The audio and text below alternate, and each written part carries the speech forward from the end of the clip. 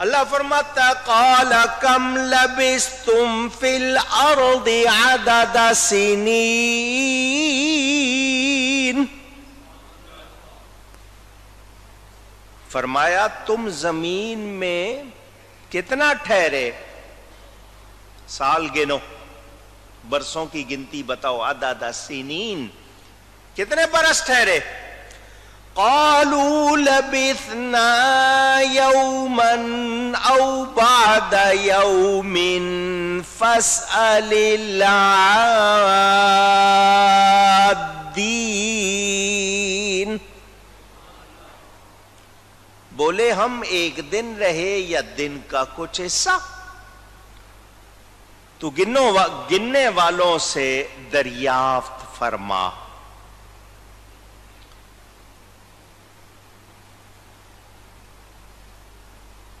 یہ رب تعالی کی طرف سے پوچھا جا رہا ہے، اللہ جانتا ہے یا نہیں؟ اونچی۔ میں نے ایک مسئلہ سمجھانا ہے، اس لیے آپ سے کہلوا رہا ہوں۔ ذرا مجھے ساتھ دیں۔ اللہ جانتا ہے یا نہیں؟ کس نے بھیجا تھا دنیا میں؟ اللہ نے۔ کتنی عمر کس کی ہوگی؟ کس نے مقرر فرمائی؟ اللہ فرما رہا کتنا ٹھہرے ہو دنیا میں؟ وہ بھیجنے والا رب خود فرما رہا ہے۔ دنیا میں کتنے سال رہے ہو؟ اب اس بات کو پڑھ کر کوئی یہ کہہ دے کہ اللہ کو معلوم ہوتا تو اللہ پوچھتا کیوں؟ دھیان دینا، میں نے مسئلہ سمجھانا ہے۔ کالا کم لبس تم فل ارد زمین میں کتنا عرصہ ٹھہرے ہو؟ آدھا سنین سال گن کے بتاؤ۔ اللہ نے بھیجا، اللہ کو معلوم نہیں ہے۔ اونچی کہیے نا ذرا۔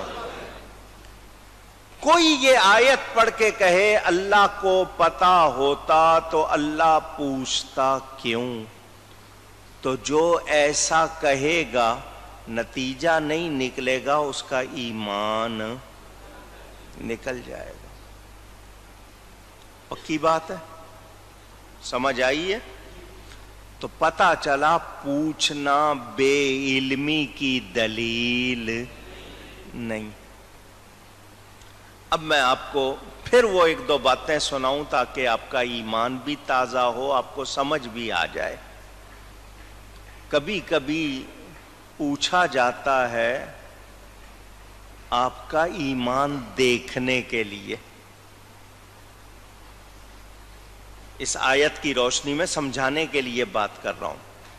کبھی کبھی آپ کا امتحان ہوتا ہے۔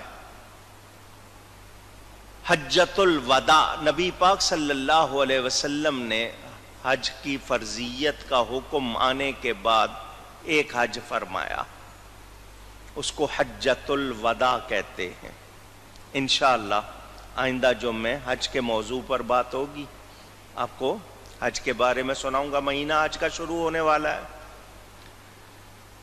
ایک حج ادا فرمایا تو سارے صحابہ کی کوشش تھی کہ حضور کے ساتھ حج کرے حضور کو حج کرتے ہوئے دیکھیں گے، ایک تو طریقہ سمجھ میں آ جائے گا۔ دوسرا، حضور کے ساتھ حج حج ایک سعادت اور پھر حضور کے ساتھ حج۔ کتنی بڑی بات۔ سوا لاکھ سے زیادہ صحابہ موجود عرفات کے میدان میں۔ ایک لاکھ چالیس ہزار بھی تعداد لکھی ہے اور بھی۔ حضور صلی اللہ علیہ وسلم میدان عرفات میں، مینا میں پانچ خطبے حضور نے ارشاد فرمائے جن کو ملا کر ایک خطبہ بنایا گیا۔ کچھ مینا میں، کچھ عرفات میں پانچ خطبے ہیں، ملا کر ایک بنا دیا، جس کو دنیا والے ہیومن چارٹر بھی کہتے ہیں۔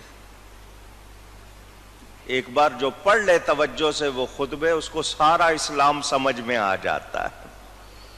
انسان کو کیسا ہونا چاہیے، دنیا میں کیسا رہنا چاہیے، اس خطبے سے ہی معلوم ہو جاتا ہے۔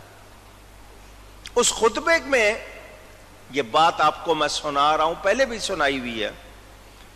عرفات کے میدان میں حضور فرماتے ہیں، آج کون سا دن ہے؟ یہ کون سا شہر ہے؟ آج کون سی تاریخ ہے؟ کون سا مہینہ ہے؟ سوا لاکھ سے زیادہ صحابہ موجود۔ کسی ایک نے نہیں کہا کہ آپ کو اتنا بھی نہیں پتا، آج کرنے آئے ہوئے ہیں کہ یہ جگہ کون سی ہے؟ اتنا بھی نہیں پتا آپ کو۔ آج جمعے کا دن ہے،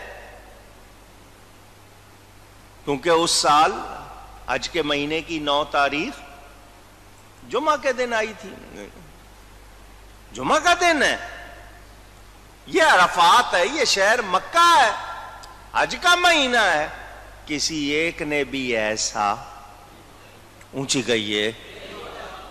حضور فرما رہے ہیں، کون سا دن ہے؟ صحابہ کا جواب اللہ اور اس کا رسول ہی زیادہ جانتا ہے۔ اللہ۔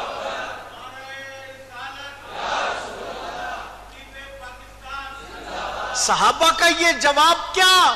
کیوں دیتے تھے وہ ایسا جواب؟ ہو سکتا ہے کوئی حکم آ رہا ہو۔ کوئی بات آنے والی ہو۔ اللہ اور اس کا رسول ہی زیادہ جانتا یہ نہیں کہتے تھے اللہ زیادہ جانتا۔ اللہ و رسول اللہ اور اس کا اونچی گئی ہے۔ فتوا لگاؤ ان پر۔ لگا سکتے ہو تو ان پر فتوا لگاؤ۔ یہ فتوا باز آج کے جو مفتی ہیں انہوں نے اپنی کتاب میں لکھا ہے، لکھا ہوا جملہ، چھپا ہوا، اللہ ہی جانے رسول کو کیا خبر؟ معاذ اللہ۔ صحابہ کیا کہہ رہے ہیں؟ اللہ اور اس کا۔ نہیں سمجھ آئی۔ ایمان سیکھنا ہے تو صحابہ سے سیکھو۔ ادب سیکھنا ہے تو صحابہ سے سیکھو۔ سب کو معلوم ہے جمعے کا دن ہے، سب کو معلوم ہے مکہ شہر ہے، سب کو معلوم ہے نو تاریخ ہے، سب کو معلوم ہے عرفات کا میدان، مگر کیا کہتے ہیں؟ اللہ و رسول عالم، اللہ اور اس کا رسول ہی زیادہ جانتا ہے۔ اس جواب نے امت کو سکھا دیا کہ بزرگوں سے بات کیسے کرنی ہے۔ بات کیسے کرنی؟ ادب سیکھنا ہو تو ان سے سیکھا جائے۔ حضور بھی آگے سے، تمہیں کسی کو بھی نہیں پتا کون سا شہر ہے؟ نہیں۔ صحابہ کا ادب۔ کتنے مواقع ہیں۔ شب برات حضور صلی اللہ علیہ وسلم بقی شریف مسلمانوں کے قبرستان میں تشریف لے گئے۔ شابان کی پندرہویں شب۔ ام المومنین حضرت عائشہ صدیقہ پیچھے پہنچی۔ حضور نے فرمایا، اے عائشہ، جانتی ہو آج کون سی رات ہے؟ تو وہ آگے سے یہ نہیں کہتی رات ہے اور مجھے پتا ہے شابان کی پندرہویں۔ وہ بھی کہتی ہیں، اللہ اور اس کا رسول ہی زیادہ جانتا۔ اور ادب، میں نے آپ کو یہ بات بھی سنائی۔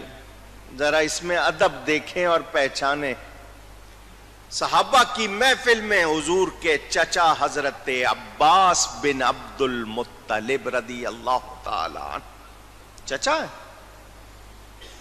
رشتے میں چچا کس کو کہتے ہیں؟ باپ کے بھائی کو۔ اور چچا باپ کی جگہ ہوتا ہے۔ حضور بڑی محفل میں ان سے پوچھتے ہیں، چچا، تم بڑے ہو یا میں بڑا ہوں؟ چچا بھی کہہ رہے ہیں، اور پھر پوچھ رہے ہیں، تم بڑے ہو یا میں بڑا ہوں؟ ہم میں سے کوئی ہوتا تو کیا جواب دیتا؟ چچا ہوں، رشتہ بھی بڑا ہے، ویسے بھی بڑا ہوں، پوچھنے والی بات ہے۔ باپ کی جگہ ہوتا ہے، چچا چچا بڑا ہوتا ہے۔ وہ تھے صحابی۔ اور پتا تھا کون پوچھ رہا ہے۔ انہوں نے جواب دے کر امت کو سکھا دیا کہ سوچو، یہاں رشتے ناتے جب بارگاہ مصطفیٰ کیا مسئلہ آئے تو پھر صرف صرف اور صرف ادب رہ جاتا ہے۔ یہاں عقل سے کام لینا درست، عقل قرباں کن بپیش مصطفیٰ۔ حضور کی بارگاہ ہے، عقل قربان کرو، ادب کرو۔ جواب دیا، امت کو سکھا دیا، فرمایا، انت اکبر و منی۔ حضور مجھ سے بڑے تو آپ ہی ہیں۔ مجھ سے بڑے تو وانا سنو یا رسول اللہ، حضور، پیدائش میں میں پہلے ہوں۔ گنتی میری زیادہ ہے، سالوں کی گنتی میری زیادہ ہے۔ بڑے تو آپ ہی۔ بڑے تو آپ۔ اگر سال گنے جائیں تو سال میرے زیادہ ہیں، لیکن بڑے آپ ہی۔ ہم لوگوں نے جب تک اس ادب سے تعلق رکھا، سرخرو ہوتے رہے۔ اب ہم اپنے بچوں کو یہ سکھاتے نہیں۔ تربیت دی جاتی تھی باقاعدہ۔ سلام کرنا ہے دست بوسی کرنی ہے، دعا لینی ہے۔ چلنا ہے تو ان سے آگے نہیں چلنا۔ سیڑھی چڑھنے کا موقع آئے نا تو جو عزت والا، شان والا ہو، اس کو پہلے چڑھنے دو تاکہ وہ اونچا رہے، ہم نیچے رہے جب اترنے کی باری آئے، خود پہلے اترو تاکہ پھر بھی وہ اونچا رہے۔ ایک سکھایا جاتا تھا، آداب تھے۔ آج کچھ ہے؟ ماں باپ کا، پیروں کا، استادوں کا کوئی ادب ہے؟ پوچھ رہا ہوں، بھول گئی دنیا۔ اور جو ادب کرنے والے درجہ لیتے ہیں وہ کسی اور کو ملتا اچھا جو قریب ہو جاتا ہے نا، زیادہ قریب، وہ بے تکلف ہو جاتا ہے۔ اور بے تکلفی میں پھر وہ اس طرح ادب نہیں کر پاتا یا نہیں کرتا۔ مگر صدیق اکبر نے یہ بھی مثال قائم کر دی جتنا زیادہ قریب ہوتے گئے، اتنا ہی زیادہ ادب کرتے گئے۔ انہوں نے یہ مثال بھی قائم کی۔ اسی لیے ان کا درجہ بھی سب سے سب سے زیادہ درجے والے میں نے اس لیے یہ باتیں سکھا دی کہ یہ پیغام ہو جائے۔ جواب کس طرح دینا ہے، یہ بھی بات۔ اللہ تعالی پوچھ رہا ہے۔ تو پوچھنا بے علمی کی دلیل۔ میں پھر کہہ رہا ہوں، جملہ سمجھ کے جواب دیں۔ پوچھنا بے علمی کی دلیل نہیں ہے۔ روزانہ استاد بچوں سے اسکول میں، مدرسے میں ماسٹر کہتے ہو، ٹیچر کہتے ہو، سر کہتے ہو، پوچھتے ہیں بچوں سے سوال۔ سوال اسی کو ہی کہتے ہیں جس کو پوچھا جائے۔ سوال لفظ ہے، اردو میں ہم نے سوال بنا لیا۔ وہ سوال پوچھتے ہیں، سوال کرتے ہیں۔ بتاؤ، سومنات کا مندر کس نے توڑا؟ ٹیچر نے پوچھا۔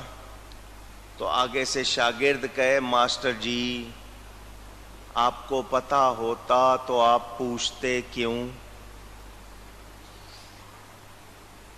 آپ پوچھ رہے ہیں، اس کا مطلب یہ کہ آپ کو معلوم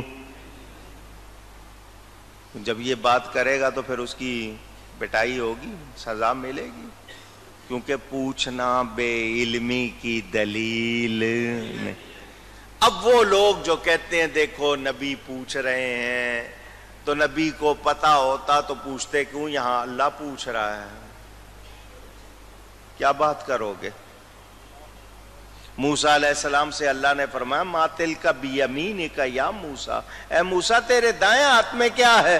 تو کوئی آگے سے کہہ دے، اللہ کو پتا ہوتا تو اللہ پوچھتا کیوں؟